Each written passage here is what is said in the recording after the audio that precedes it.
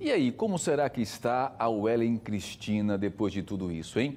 Vamos ao vivo com Bruno Protásio, com exclusividade, que vai conversar com a própria Wellen e também com os pais dela. Meu querido Bruno Protásio, quero saber das novidades, das informações. O susto já passou, tá tudo tranquilo por aí? Bom dia. Bom dia para você, Thiago. Bom dia para todos. E como é bom vir para falar de um final feliz com a família da Wellen que nos recebe aqui. Já aproveitando para agradecer os pais da Wellen, a Wellen que está aqui. Deixa eu apresentar. Essa é a Wellen, tá? Inclusive, que já está aqui sentadinha ao lado do seu pai, o Erivan, e também da mãe, a Misses de Fátima. Eu vou começar com a Wellen, tá, é, Thiago? Deixa eu conversar com ela para a gente saber como é que ela tá e como é que foi tudo isso. Porque foi um susto muito grande. O Ellen, hoje você está aqui, graças a Deus, com saúde, ao lado da sua família, mas como é que foi aquele momento que você caiu? Não foi muito bom não, por causa que o buraco era muito pequeno e apertado. Na hora que eu desci, eu fiquei com a perna presa e tá machucado. E por conta disso eu fiquei presa lá e passei num buraco muito pequeno que fiquei sufocada. Mas eu fiquei quatro horas e meia no outro lá onde me retiraram. E graças a Deus eu saí, graças a Deus. Quando você caiu, tava tudo cheio d'água? Tava, tava muito cheio e muito forte. E por conta da água, acho que foi assim que eu fui sugada, que tava muito forte. E cada vez mais enchia mais. E aí a força da água te levou para outro lugar? Sim, a força da água me levou lá pro lugar onde me tiraram. E eu lutei tanto para poder voltar e por isso que eu tô toda machucada. Você então, quando caiu, tentou ainda nadar, puxar? Voltar e agarrar nas paredes para voltar, mas assim não consegui. Nesse outro lugar que você foi puxado, onde eles te encontraram, não tinha água até o topo. Você conseguia é, ficar ali respirando? Não, não, tinha muita água até o topo, mas a água chegou até o total do meu queixo. Ah, só que tinha um cano do lado, eu consegui agarrar e puxar para cima. E aí você ficou segurando esse cano? Sim, eu fiquei segurando e me puxando para cima cada vez mais quando a água subia. O que, que você estava pensando nessa hora? Você gritava por socorro? O que, que você estava fazendo? É, eu estava pensando em tentar sobreviver para não para não fazer meus pais sofrerem mais do que já sofreram. E eu gritei tanto que eu fiquei rouca. Até agora ainda tô rouca. Um tempo que parecia uma eternidade, né, Welly? É, pareceu uma eternidade. Eu tava lá quatro horas, mas parecia que eu tava há quase 30 horas. E quando te acharam, o que, que você pensou, o que, que veio na sua cabeça? A primeira, a primeira coisa que eu pensei foi em agradecer e depois ir, ir procurar minha mãe. Só que uns 30 minutos depois ela chegou. Você via que tinha o buraco em cima, você estava gritando ali, você ficava olhando? Eu via por causa da luz, a luz batia e refletia embaixo, então cada vez mais que passava carro eu gritava mais alto, só que eu acho que não estava dando para escutar. Mas finalmente alguém conseguiu me tirar lá de dentro. Como é foi a sensação que quando você viu que tinha alguém já olhando, que tinha te encontrado? Eu já fiquei feliz, comecei a gritar mais alto para ver se me escutavam e me puxavam de lá.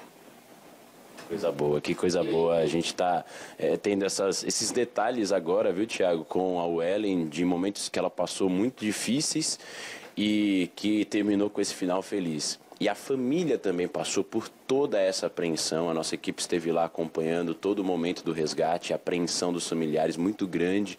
E agora eu vou conversar com a dona Mistes, que é mãe da Wellen, que também estava numa situação muito apreensiva. Dona Mistes, como é que foi essa situação para a senhora como mãe e tanto desse momento de que soube que sua filha tinha caído no bueiro, quanto também depois quando a senhora reencontrou com ela?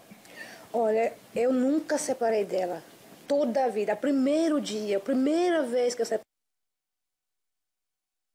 eu sempre eu tô sempre com ela, nunca até às vezes eu passo a noite em claro olhando para ela aqui.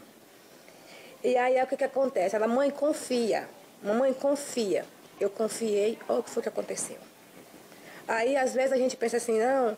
Eu sempre, quando eu passava naquele buraco lá, eu sempre dizia, cuidado, que tem, pode uma criança cair. Mas eu nunca imaginei que fosse a minha. Nunca imaginei. Aí quando ela, eu cheguei, que eu deixei ela é, é, lá no, dentro do ônibus, que quando eu vim buscar ela, que eu me atrasei dois minutos, quando eu cheguei ela estava com 15 minutos que ela tinha caído. Aí ninguém, não, né, não. Eu digo, é assim, ela com a bolsa, é, é, é, quando eu vi o menino com a bolsa nos braços e o celular dela na mão, eu digo, é a minha. Aí foram, não, olha no ônibus, não, olha no ônibus pra quê? Se eu sei que é ela que tá lá dentro. Quando o tempo estava passando, quando eu cheguei, estava com 15 minutos, ela estava viva na minha contagem. Mas aí o tempo foi passando, a água foi aumentando. Aí eu digo, eu não vou encontrar minha filha mais viva, não. Não vou encontrar minha filha viva, não. Aí eu comecei a ligar para meus irmãos, desesperada. Aí a, a, irmã dela de criação disse, mãe, não se preocupa não, Carolina é muito forte. Eu ensinei ela a se defender dentro d'água. Até porque a, a, a, outra, que é mais velha, levava ela para a chácara, levava ela para a represa. Então eu não sabia nada disso. Aí a outra disse que ensinava ela a se defender dentro d'água. Aí aconteceu que, de fato, ela soube se defender dentro d'água, soube se cuidar dentro d'água. O desespero foi grande, porque você passar de, de 11 de, de 11 40 até 3 horas da tarde, uma mãe desesperada sem saber onde é que está seu filho, enfiado dentro de um buraco sem saber onde é que está. Todo, acho que eu não quero nem pro meu pior inimigo uma coisa dessa. Jamais eu ia querer uma coisa dessa, para ninguém. E desespero que uma mãe fica. Ainda tem não, calma, que porra de calma, gente. Quem que vai se acalmar com uma coisa dessa? Me fala uma coisa dessa. Principalmente eu que, que que ela veio, num, a Lelinha veio num momento na minha vida muito difícil, que eu já tinha perdido uma, aí ela engravidei não sabia, quando ela nasceu, ela nasceu prematura, então uma coisa juntou com a outra, então eu grudava muito nela. E sempre foi assim. Aí no dia que eu confio para deixar ela sozinha, acontece isso. Aí o desespero, ela não queria vir para cá. Ela disse, mãe, eu não quero vir. Mesmo na segunda-feira mesmo, ela falou para mim, mãe, vamos embora daqui? Quando foi para a escola acontece isso. Agora não quer mais ir embora, não. Agora, agora ninguém diz para ninguém que ela não conhece, eu não conhece Maceió por cima e por debaixo. Ela conhece tudo. Mas tanto lugar que tinha para tomar banho, ela resolveu tomar banho no banheiro. Mas aqui agora, depois desse momento de apreensão muito difícil, é, como a senhora está falando, né? como é que foi o momento que a senhora soube que tinham encontrado sua filha quando a senhora colocou o olhar de novo nela? Foi maravilhoso. Foi uma, foi tipo uma realidade de choque, sabe? Eu não sabia se era verdade, não sabia se era. Enquanto eu não, não peguei ela, não botei no colo, não abracei, não estava bom. Aí quando eu encontrei ela, que eu abracei, aí eu acreditei que realmente Deus existe e minha filha está viva. Mas tava, até então eu estava desesperada, sem saber o que fazer. E você vê uma coisa, como está aí, ó, água enchendo, e você, a hora passando, e o tempo cada vez mais aumentando e, e nada, não encontra mais, não encontra mais. O bombeiro abriu um buraco só. Quando ela caiu lá, no primeiro bueiro eles abriram. Não abriram mais, desceram logo para a represa lá embaixo. Aí como é que sabia onde é que ela estava? Se não fosse a população é, sair caçando em bueiro em bueiro, não tinha encontrado ela. Porque eles estavam procurando embaixo, sendo que ela estava em cima. E eu dizia, tá no bueiro, ela tá no bueiro, mas ninguém acreditava em mim. Mas aí, graças a Deus, encontrou, minha filha está bem. Tem alguma escoriação, mas teve com o tempo Sara, né? O difícil, o difícil fosse a vida, mas ela está com vida, está saudável. E ela tem problema de asma e graças a Deus Deus botou a mão que ela não deu problema de asma nenhuma. Graças a Deus, está ótima minha filha, saudável.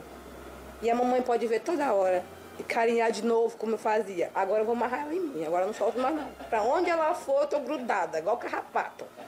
Depois de uma dessa, a gente compreende, viu, dona Missis? Mas agora também vou ouvir o seu Irivan, que é o pai é, da, da Wellen, que está aqui também. Seu Irivan, deixa eu ouvir um pouquinho só mais perto aqui, para saber como é que foi a situação para o senhor também de apreensão e de reencontro com a sua filha. Olha, minha filha nasceu de novo, né? É um milagre de Deus, né?